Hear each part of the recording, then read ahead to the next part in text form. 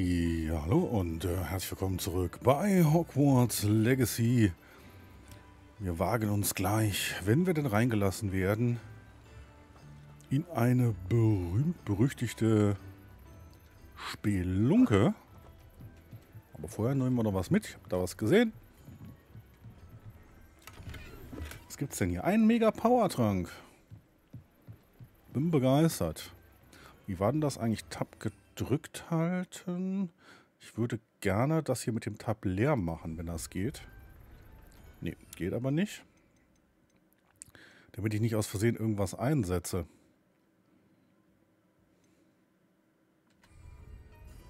Schade. Das äh, geht leider nicht.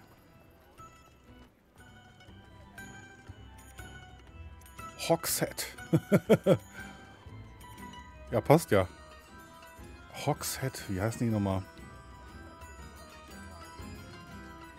Egal. Eberkopf. Musik hört sich schon mal brauchbar an. Guten Tag. Hört die Musik plötzlich auf. Draußen hört sich's noch nach Party an. Kommst du rein? Keiner da. Na, lass mal was trinken. Krieg ich noch einen?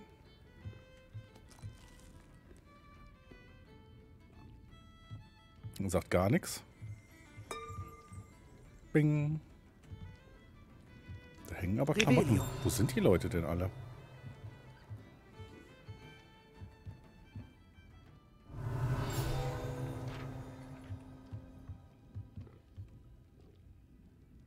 Oh, da der Eber. Warum komme ich nicht an die Seite ran? Die hängt in seinem Kopf oder was? Nein, hier. Wandmontierter Eberkopf. Dieser an der Wand montierte Eberkopf verdreht die Augen und rümpft die Nase, ob der zwielichtigen Atmosphäre und der doch eher interessanten Kundschaft im Gasthaus desselben Namens. Ich finde sowas ganz gemütlich, muss ich sagen. Ja, darauf heben wir erst nochmal ein.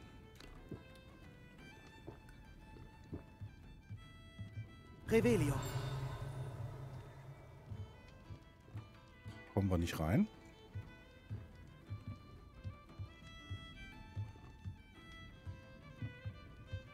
Da hinten geht es noch eine Treppe hoch. Vielleicht hinten rum. Schnell noch mal was trinken unterwegs.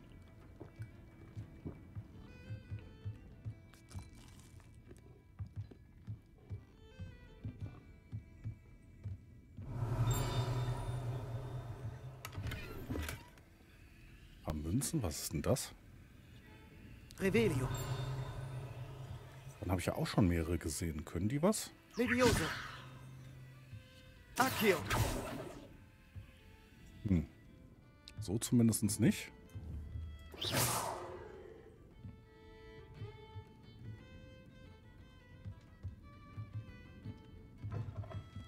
Da hinten geht's raus. Revelio. Raus möchte ich aber noch nicht. Nicht die Kisten denn irgendwie da wegziehen? Accio.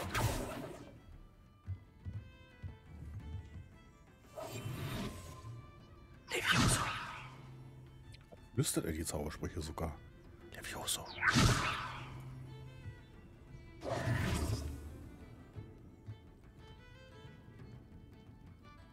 Okay, ja, das habe ich mir anders vorgestellt hier beim Eberkopf.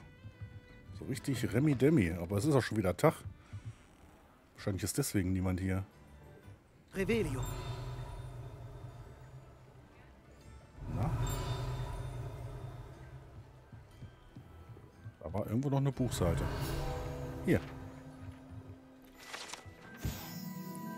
Stege des Eberkopfs. Diese Stege vor dem Wirtshaus Eberkopf bieten einen angenehmen Platz zum Sitzen und Entspannen, sofern einem das gelingt, wenn man nur einen Steinbruch von dem entfernt ist, was in dem zwielichtigen Wirtshaus vor sich geht. Ja, gar nichts. Geht davor.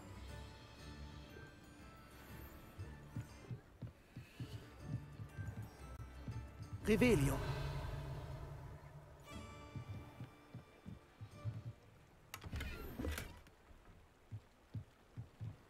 Okay, soweit zum Eberkopf. So, was gibt es noch? Schön wäre auch, wenn angezeigt würde, welche Orte man schon besucht hat. Die drei Besen, da waren wir ja schon drin. Zonkos Scherzartikelladen. Ein Laden für Scherz und äh, Trickartikel, Trickartikel mit einer tollen Auswahl an Gerätschaften zum Streichespielen, wie beißenden Teetasten, aufblasbaren Zungen und Stinkbomben. Okay, lass mal gucken. Was liegt hier noch auf dem Weg? Zaubertränke, das kennen wir ja.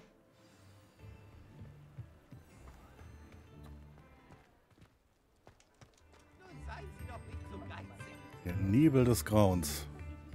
Trinkgeld geben? Nein. Trotzdem schön, was du da machst. Ich als armer Zauberschüler muss ein bisschen aufpassen mit meinem Geld.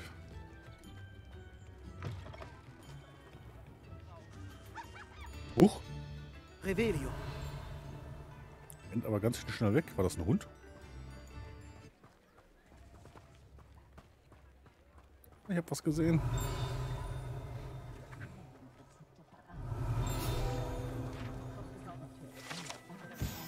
Zonkos Schatzartikelladen. Zonkos Laden in Hogsmeade wird regelmäßig von Hogwarts-Schülern und Dorfbewohnern gleichermaßen besucht, da hier verschiedene Schatzartikel verkauft werden. Ja, Weasley gibt's in, Weasleys gibt es in der Zeit ja noch nicht. Level up! Revelio. Da ist gleich noch eine Seite. Ja nicht so der Sammler eigentlich, aber wenn die so auf dem Weg liegen, Fässer mit Butterbier. In diesen Fässern wird das bei Hexen und Zauberern so beliebte Butterbier gelagert. Es wird sowohl kalt als auch heiß serviert und hat einen geringen Alkoholgehalt, der auf Hauselfen viel stärker zu wirken scheint als auf Menschen.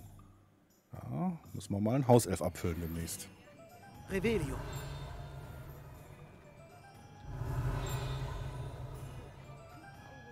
Okay, dann lass mal sehen, was los ist bei Zonkos.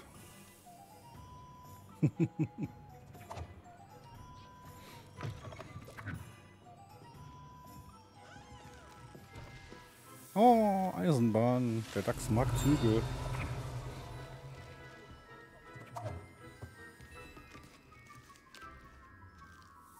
Okay. Danke. Ein Geschenk für mich.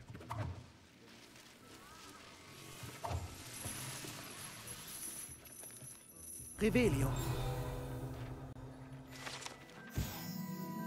Froschleichseife. Wer sich mit diesem Stück Seife waschen möchte, kann sich auf ein amphibisches Erlebnis der besonderen Art einstellen. Wenn die Seife unter Wasser gehalten wird, bahnen sich kleine Kaulquappen ihren Weg aus dem Schaum. Naja. Kann man machen. Kann man aber auch lassen. so, was kannst du?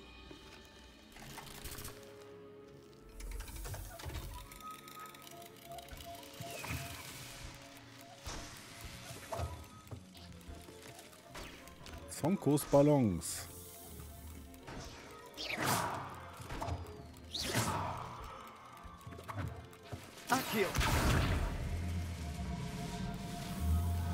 Eingefangen und jetzt?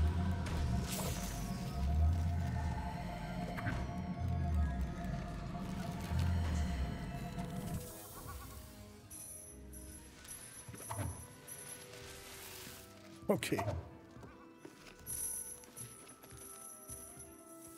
Bühne frei.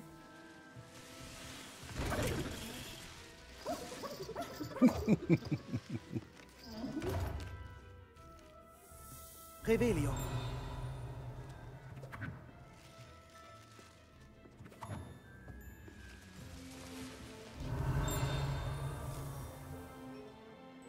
Okay, das war's scheinbar hier unten.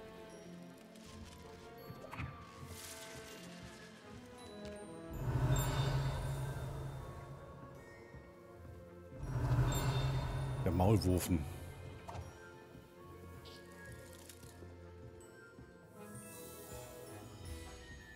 Na, spielen wir eine Runde Poker.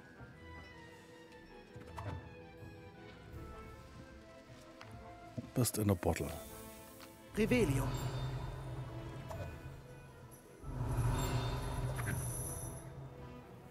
Ich kann mal so eine Eisenbahn fahren sehen hier.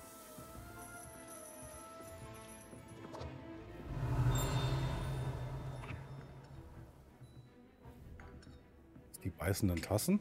Ja. ja, mach du mal. Was ist das hier? Bewildering Can of Mystery. Eine, eine, Dose, eine Dose geheimnisvoll. Quality Surprise Canned and distributed by Anderson Brothers and Company. Okay. Yo.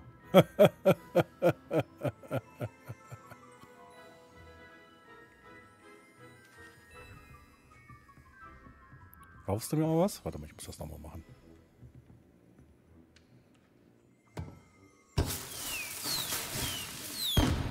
Da passieren auch noch mal unterschiedliche Dinge hier. Mystery Box.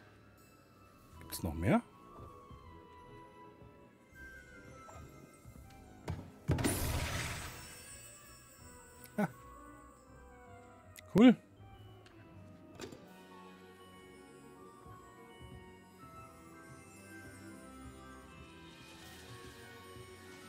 Revelio. Hm.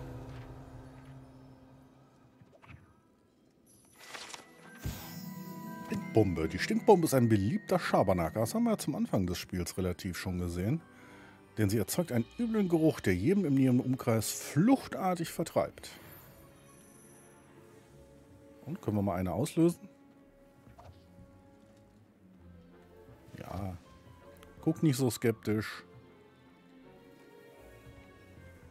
Ah. Wer kennt ihn nicht, den verführerischen roten Knopf. Don't push. Machen wir's? Machen wir, oder?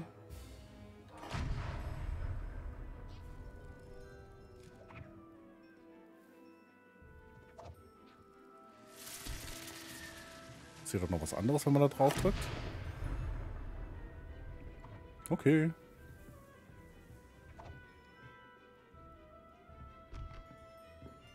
So, wo kommen wir hier hin? Okay, hier geht's wieder raus. Ach, das ist einmal der Rundgang hier. Revelio. Es gab gar nichts abzusahnen hier.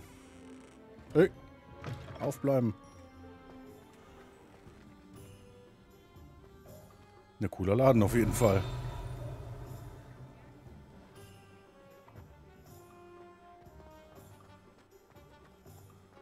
Oben kommen wir wieder auf den... Äh, hier kommen wir wieder zum Honey Dukes.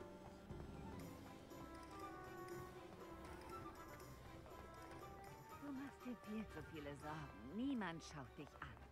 Warum hast du mir noch ein paar gekauft? Ich hasse diese Socken. Socken. Zu dem Preis kann man sich nicht entgehen lassen. Sei froh, dass du ich Socken hast. Keine Socken. Eis darf man sich nicht entgehen lassen. So, hier, das waren die. Schnell wieder raus bevor die Katzen kommen. Apropos Katze. Man könnte meinen, du hättest ein Gebrechen. Wurde er Oh, können wir diese Socken nicht zu Mr. Hill zurückbringen und mir normale besorgen? Du kannst dir deine Socken aussuchen, wenn du Steppsocken? Bis dahin wirst du lernen, sparsam zu sein und dich zu benehmen. Du machst hier eine Szene. Papa, kann man Zauber wirklich aus Dingen herauswaschen? Sei nicht albern. Diese Frau würde alles sagen, um keinen Knut auszugeben. Zauber aus Dingen herauswaschen. Derwishs and Benches. Derwishs? Ah, hier waren wir auch schon. Das ist nur ein anderer Eingang.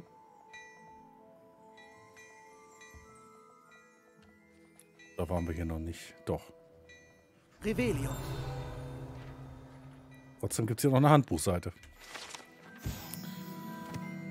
Spikoskop. Ein Spikoskop ist eine Art Antiobskurant und dreht sich, pfeift und leuchtet auf, wenn es jemandem in der Nähe entdeckt, dem man nicht trauen kann. Ach, das ist interessant. Es sollte allerdings mit Vorsicht benutzt werden, da es das Ziel sofort auf denjenigen aufmerksam macht, der es einsetzt. Ja.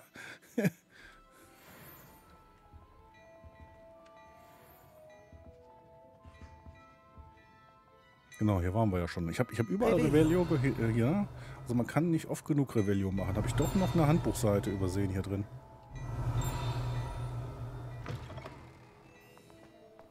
So, eine Auto-Revelio.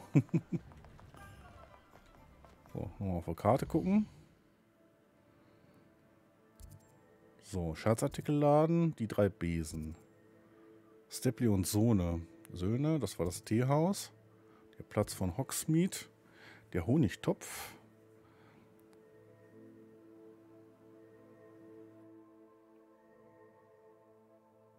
wo haben wir denn die Süßigkeit gege Süßigkeiten gegessen? Waren wir da? Nee, das war nicht im Buttertopf, sondern...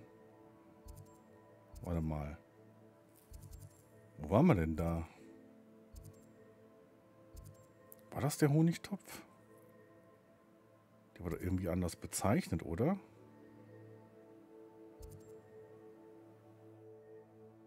Ja, das muss ja gewesen sein. So, hier waren wir schon.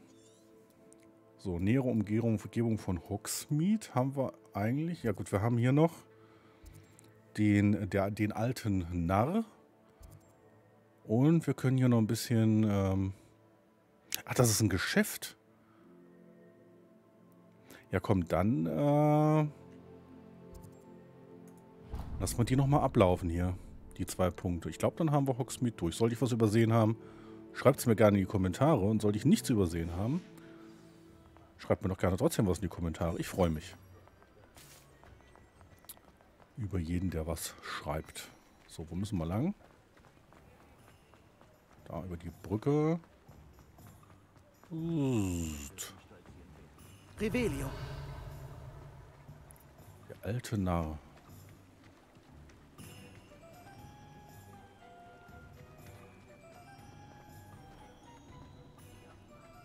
Wir denn hier? Friedhof?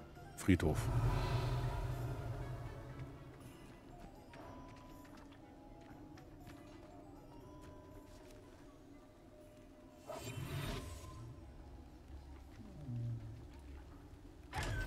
Danke.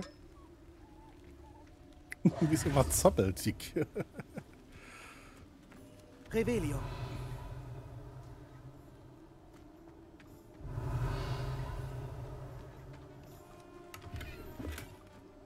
Mega Powertrank.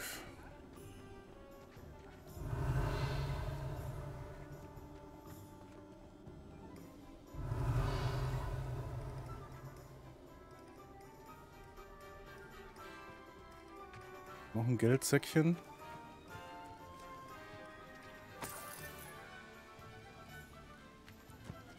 Haben wir denn darauf?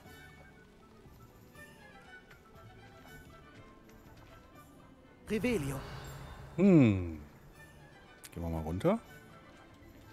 Ach, schade. Die Tür ist auf, aber wir können nicht reingehen? Wenn wir Licht anmachen, auch nicht. Revelio.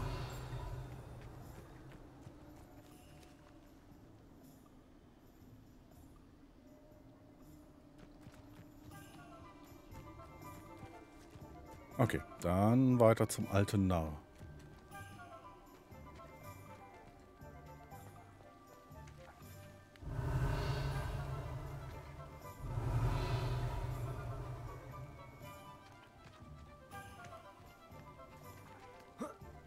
Macht es einem ja nicht leicht, zu ihm zu kommen.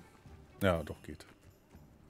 Ach ja, ich hätte auch ganz normal einen Weg lang laufen können, um hier raufzukommen. Ja, herzlichen Glückwunsch. Wenn euch das gefällt, dann lasst doch gerne einen Daumen nach oben da. Und da hinten, das ist wahrscheinlich gleich der Shop. Den mit den magischen Tierwesen habe ich absichtlich ausgelassen, weil äh, an dem Punkt bin ich ja noch gar nicht. Da muss ich bestimmt sowieso nochmal hin. Oh, warte mal, ich muss nochmal zurück. Da malt jemand was.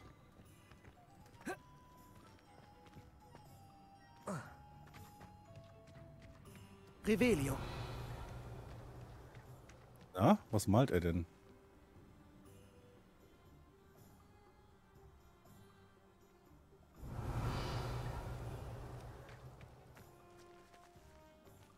Hogsmeade. Nimm mich mit.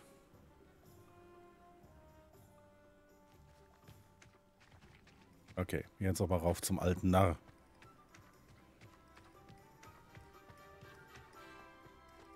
Was der kann, äh, wer der ist und äh, ja, was wir dann da erleben oder für Geschichten erzählt bekommen, das, ähm, ja, schauen und hören wir uns dann. Oh, da ist noch was. In der nächsten Folge an. Und bis hier bedanke ich mich recht herzlich für eure Aufmerksamkeit und sage bis zum nächsten Mal. Levioso. Auf Wiedersehen.